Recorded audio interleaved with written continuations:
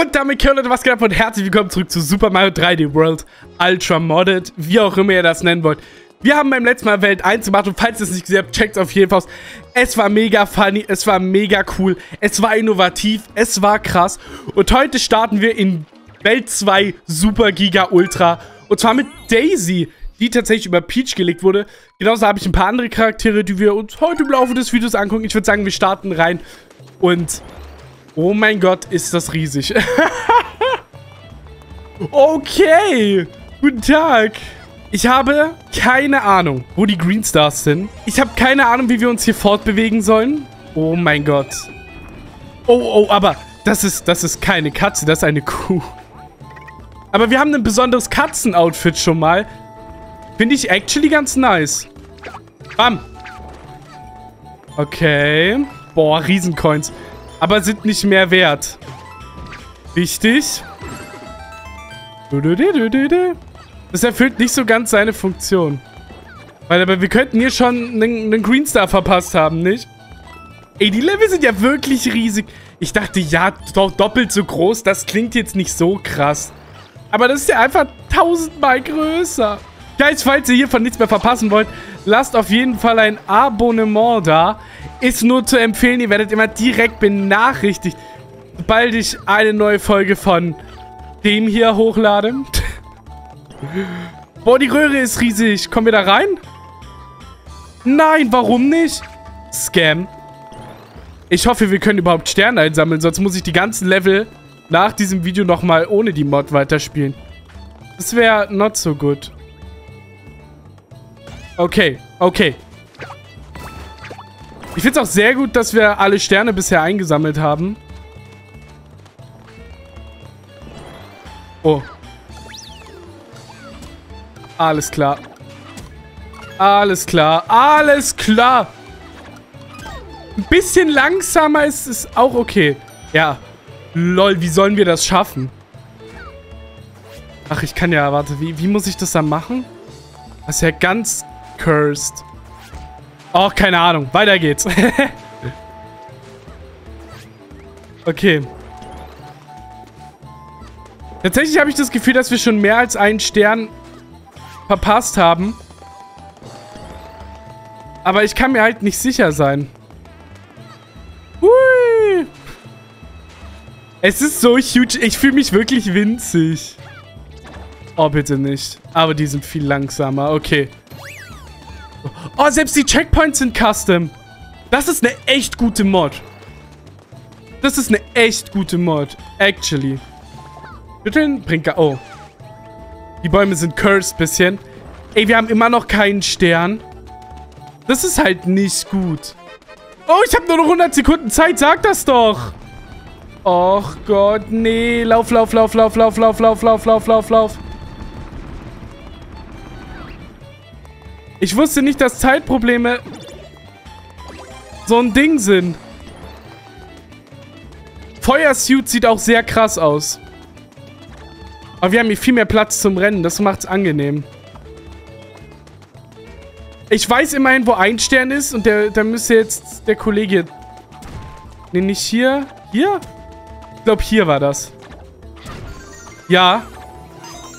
Der zweite? Oh, die Zeit wird auslaufen. Ey, wir haben viel zu wenig Zeit für das Level. Oh mein Gott. Wir werden es zeitlich nicht mehr hinkriegen. Aber der Toad hat doch auch noch einen Stern. So. Ja, ganz genau. Ja, gut. Dann probiere ich es einfach nochmal und diesmal ein bisschen schneller scheinbar. Okay, hier ist der Stempel. Die sind ein bisschen anders als im Main Game platziert worden.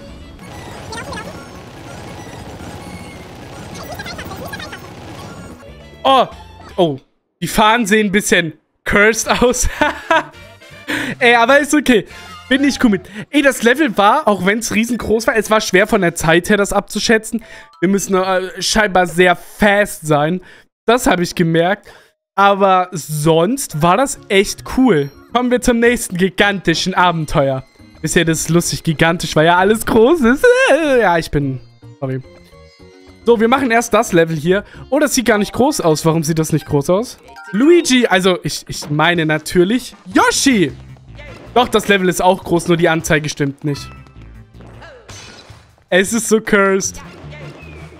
Und Yoshi sind sogar rot. Als ich den getestet habe, hatte ich halt ähm, kein äh, Feuer-Item.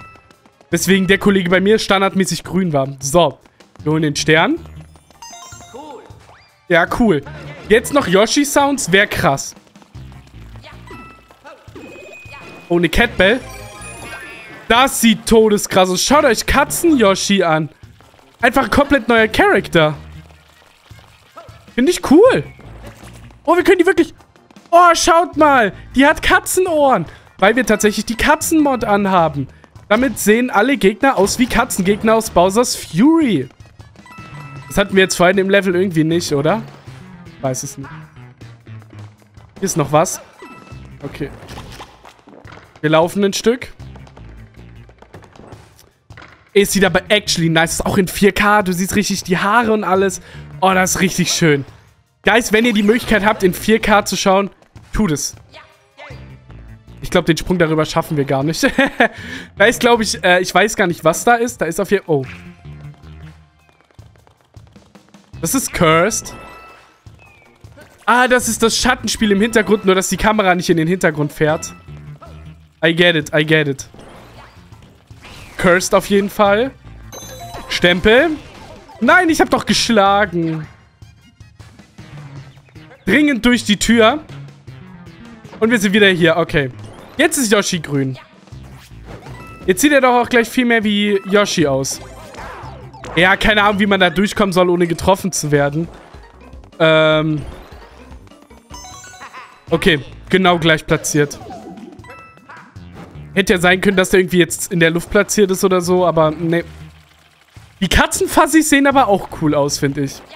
Vor allem, ich hätte nicht gedacht, dass das Riesenzeug mit dem funktioniert. By the way, ähm, Skin-Mods sind Mods, die werden wir immer aktiv haben. Also bis Ende des Let's Plays wird jeder Gegner hier aussehen wie eine Katze. Das wird so sein.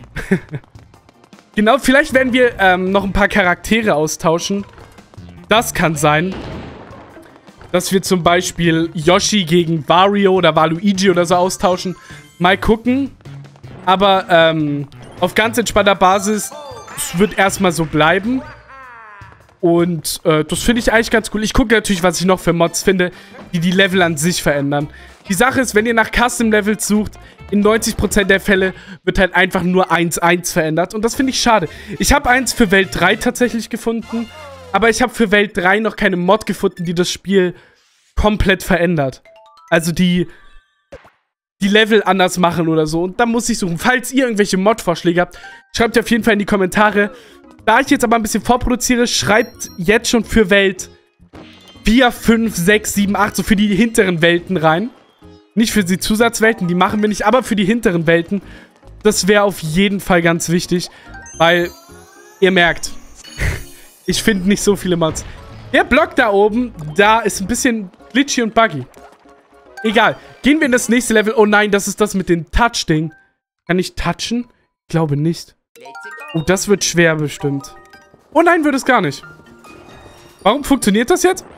Ich sag's euch, Mario Galaxy hat gar nichts funktioniert. Da konnte ich hier machen, was ich will. Und hier geht das einfach... Okay, es geht sehr langsam, aber es geht. Oh. Ah nein, man kann es auch wieder re in die Mitte machen. Okay. Okay. Ich finde, die Katzengegner passen viel besser in dieses Game.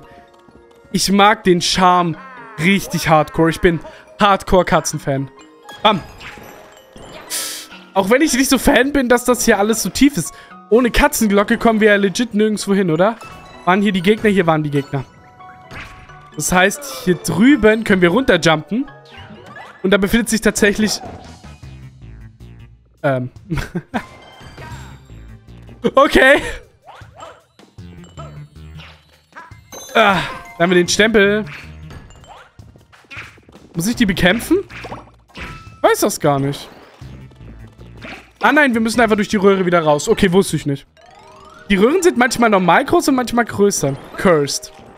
Oder es ist vielleicht so, dass wir in die großen gar nicht rein können, weil irgendwelche Metadaten oder so. Ich habe keine Ahnung. Ich mag Katzenohren. Hashtag Katzenohren jetzt hier in die... O.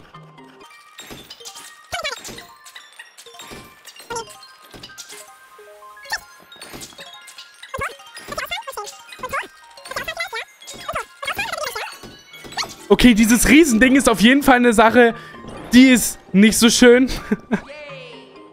Aber ich, ich, ich finde es innovativ. Ich finde es actually mal wieder innovativ.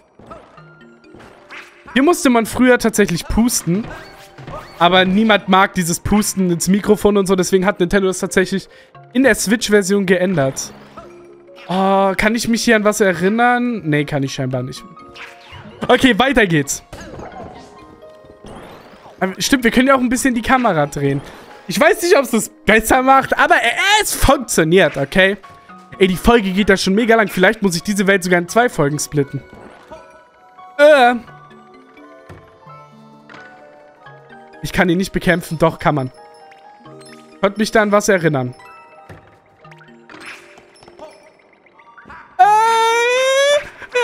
okay, ich wäre fast runtergefallen. Weiter geht's. Wie soll ich eigentlich dahin dann kommen? Versuche natürlich immer hier direkt Anlauf und alles. Da drüben müssen wir nämlich hin. Oh, ich find's cool, dass ich so einen Zeiger habe. Da kann ich euch immer sagen, wo ich gerade hingucke. Das ist doch schön. Jetzt gucke ich dahin, weil ich diese Textur angucken möchte, wie die aussieht. Die Beleuchtung ist auch sehr schön, finde ich. Ich habe mir noch keine Gedanken gemacht, wie ich da reinkomme. Ansprung. Und dann müssen wir uns wieder beeilen. Wir haben wieder nur noch 100 Sekunden. Die Zeit in den Leveln ist auf jeden Fall sehr krass begrenzt.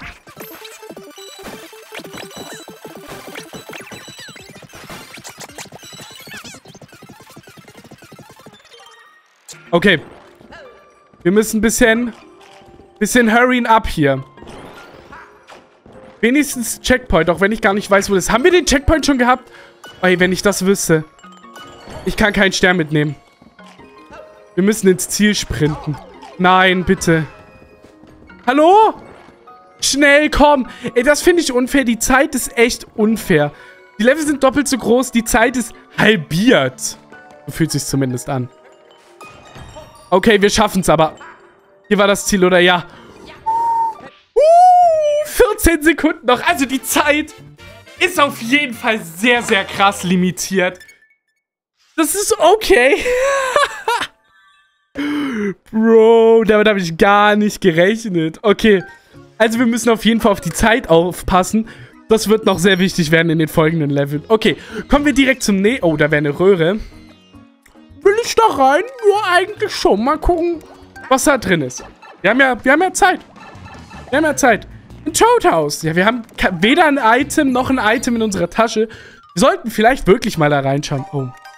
Äh, jetzt kommt die andere Sache. Kommen wir überhaupt an die Geschenkkisten dran? Wir nehmen die kleine. Wir wollen nicht so gierig sein. Ja, ja.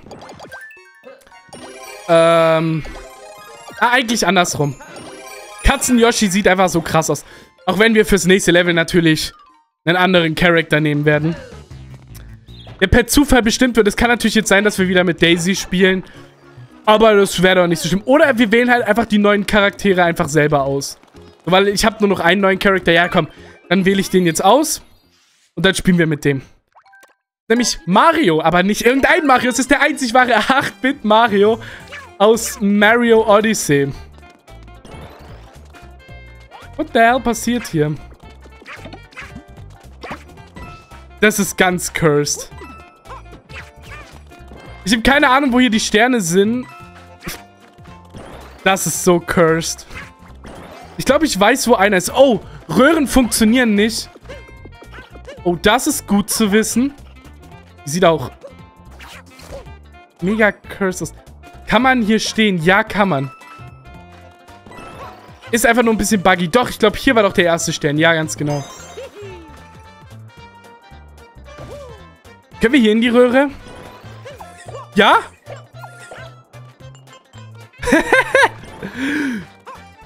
Also, sie funktionieren. Ob sie gut funktionieren, sei jetzt mal dahingestellt. Oh, das ist richtig buggy da hinten. Äh. Oh, lauf, lauf, lauf, lauf, lauf. Oh Gott. The hell passiert hier?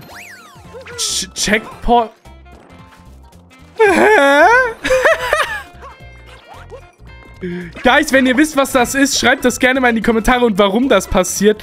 Ich bin mir sicher, das ist einfach nur ein kleiner Fehler vom, Mod-Ersteller. Oder ist es vielleicht sogar ein ganzer Engine-Fehler vom Game an sich. Das kann ja auch vorkommen. Ich kann mir vorstellen, dass hier ein Stern ist. Nein? Schade. Aber eine Röhre. Ah, hier sieht schon ein bisschen besser aus. Bisschen schief, das Ganze, aber ist ja... Uiuiui. Kein Problem. Wo komme ich hier hoch? Ja. Man kann da rüber. LOL. Das ist einfach nicht geladen gewesen. Stimmt, wir sind ja immer noch eine Katze. Das ist so subtil eingebaut. Mario ist halt gay. Oh, die Beleuchtung ist auch ein bisschen weird. Aber das soll es nicht aufhalten. Ich finde auf jeden Fall, von, von, von der Idee her, alles einfach hundertfach zu vergrößern, finde ich es cool. Und ist auch gelungen. Sagt ehrlich, Guys, ich finde, es ist gelungen. Da ist eine Röhre. Ich weiß aber gar nicht, was die macht. Amt, das ist einfach nur der untere Weg. Ich weiß nicht, ob ich in die Röhre soll oder nicht. Vielleicht kümmern wir uns erstmal um den Stern, der hier unten ist. Da ist er. Okay. Oh, okay, uns fehlt einer. Dann bin ich mir quasi zu 300% sicher, wo der sich, oh ja, befindet. Ich vermute mal, hier, hier drin. Richtig?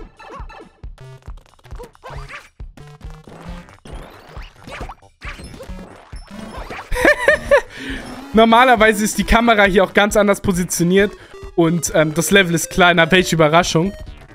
Aber so finde ich das Ganze tatsächlich auch cool. Oh ja. Jetzt schon gar nicht mehr so einfach. Oh, wir haben Zeit bekommen. So wichtig. Ah, da ist ein Stern gespawnt. Wir haben alle drei. Sehr, sehr schön. So muss das doch, Guys. Dafür kann man doch auch mein Like da lassen. Und den Kanal abonnieren. Es ist nur so eine Idee. Es tut mir leid. So, ich glaube, wir haben alle drei Sterne. Wo die Stempel sind, kein Plan. Aber ich glaube, hier steht auch, was ist das hier? Oh, das sind die Schatten von den Zäunen, die da normalerweise wären. Aber die sind nun mal nicht mehr da, weil alles ja größer gemacht wurde. Perfekt. Das Level wäre auch geschafft. Ich muss kurz was trinken, Guys. Es ist anstrengend. Wir haben draußen, ich glaube, 28 Grad oder so. Meine Grafikkarte brennt, weil alles 4K und alles in krasser Qualität. Tut mir leid. oh ja, ein Riesenfight hätte ich tatsächlich Bock zu. Actually. Und ins Riesencasino können wir auch mal gucken. Oh, ein Rätselhaus in riesig stelle ich mir auch cool vor. Aber erstmal möchte ich gegen diesen komplett verbackten Block hier springen. Okay. So, erster Kampf, dann Casino, dann Rätselhaus. Das ist unsere Reihenfolge. Oh, ähm, zu, zufällig. Irgendein Charakter. Daisy.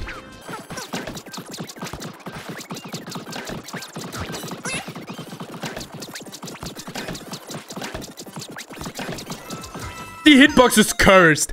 Die Hitbox ist cursed. Aber es hat Spaß gemacht tatsächlich. Also, so wie auch immer das Spaß machen kann, dass die Hitbox nicht stimmt und man ein bisschen suchen muss. Aber ich find's cool, wie wirklich alles halt verändert wurde. Nicht nur die Main-Level, sondern auch die Zusatzlevel, was ja, glaube eher untypisch ist, wenn ich an die Toadhäuser in NSMBU-Hacks denke, die in 90% der Fälle nie verändert werden. Aber das Casino sieht auch aus, als wäre es größer. Das heißt, es wird viel schwerer. Ja.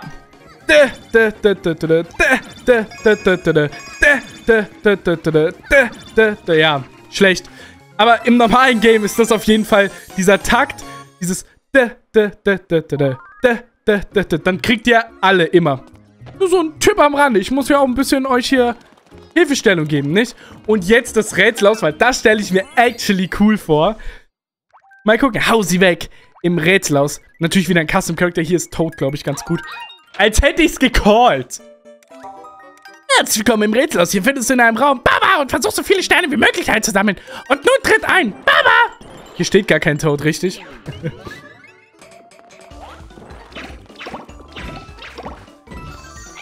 ja, und weil es zu groß ist, wird die Zeit auch nochmal ein anderes Problem werden. Normalerweise sind diese Rätselhäuser nämlich ziemlich einfach. Oh mein Gott. Yeah! No! Okay. Ganz entspannt müssen wir das angehen.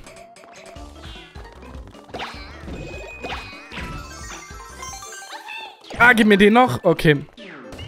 Haben wir gar nicht gebraucht. Bam. Bam. Bam. Und bam. Und zack.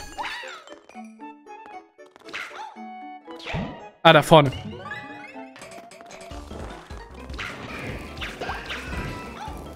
Nein, wie konnte der mich treffen? Wie soll ich denn auf den draufspringen, wollte ich gerade sagen. Aber scheint zu gehen. Alle fünf Sterne im First Try.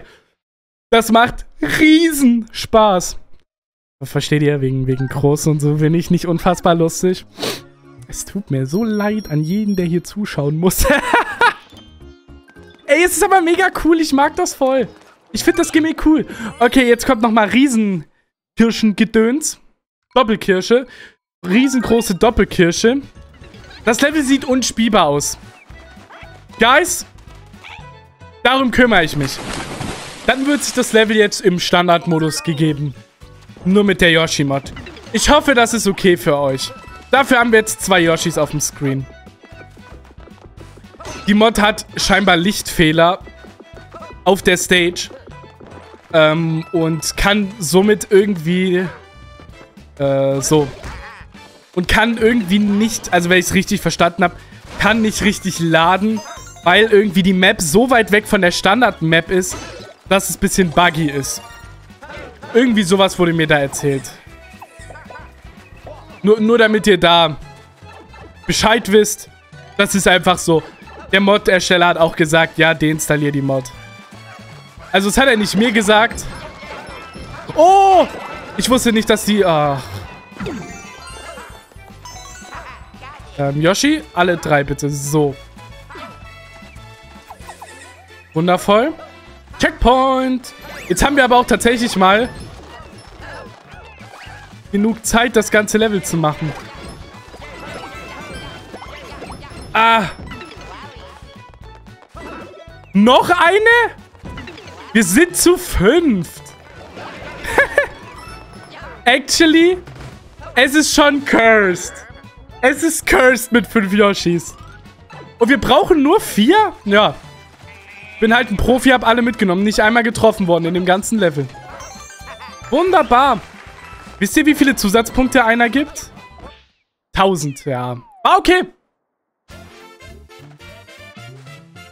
Schön. Oh, seht ihr das? Yoshis Panzer ist ein bisschen nicht so schön texturiert. Ich will mich gar nicht beschweren. Die Mod ist super cool. Entschuldigung. No hate, bitte. Wunderbar, das Level wir auch geschafft. Da kommen wir zum Cast-Level. Das aber wieder in real big. Let's go. Vielleicht bin ich auch mal wieder nur der Einzige, der das Gefühl hat, aber irgendwie sieht dieses Castle aus, größer aus, als es sein sollte. ah, jetzt ist wieder gut. Okay. Wir spielen mit 8-Bit Mario und schauen uns das Ganze mal an. Ist alles größer? Kann ich euch gar nicht sagen. Irgendwie sieht das gleich aus, oder? Nein, nicht treffen. Okay. Da wäre ein Stern. Schade, dass das nicht größer ist, aber ist ja nicht so schlimm. Hui. Wir können ja trotzdem Spaß haben, oder nicht? Was sagt ihr, Guys? Schreibt mal gerne in die Kommentare, was ihr von der größer Mod haltet. Ich weiß gar nicht, ob ich danach schon heute gefragt habe. Ich habe gerade kein Gesprächsthema. Ich nehme seit genau 42 Minuten auf. Nee, nee, Entschuldigung, Lüge. 44 Minuten und 32 Sekunden. Bei euch wird sowieso wieder viel raus. Ja, das, dieses Mod an- und ausmachen dauert ein bisschen. Dann testen, funktioniert so und so. Dauert immer kurz. So, und der letzte Stern befindet sich hier hinten. Ganz genau. Und ab zum Bossfight gegen... Bitte lass es Riesenbumbum sein. Das wäre so cool. Schade. Aber, ey, es ist Katzenbumbum. Es ist... Damit komme ich euch doch ein Stück entgegen, oder nicht? War es nicht so, dass man auf den bouncen konnte? Nee. In 3D-World hat man dann unendlich Leben bekommen und ist oben komplett aus der Welt rausgebackt. Oh, jetzt ist er auf einmal riesig. Was? Der Kollege ist cursed. äh, Mikrofon, mach den sichtbar. Ah. So, schnell. Der Unsichtbare war groß und der Normale nicht. Kann man auch machen, nicht? cool, cool, cool. Cool, cool. So, wir haben alles außer den Stempel. Wie gesagt, Stempel. I don't care, man. Das hier ist auch nicht größer. Das finde ich schade. Aber vielleicht unterstützt die Mod auch nicht alle Level von Welt 2. Ich weiß es nicht. Wir haben das Level auf jeden Fall geschafft. Und damit, Guys, sind wir schon wieder am Ende der heutigen Folge. Das Ganze gefallen hat, smash den Like so rein, dass eure YouTube-Startseite zerbricht. Und abonniert den Channel, wenn ihr hiervon nichts mehr verpassen wollt. Ich wünsche euch noch einen wunderschönen guten Tag. Bis zum nächsten Mal. Bis dann. Ciao, ciao, Leute.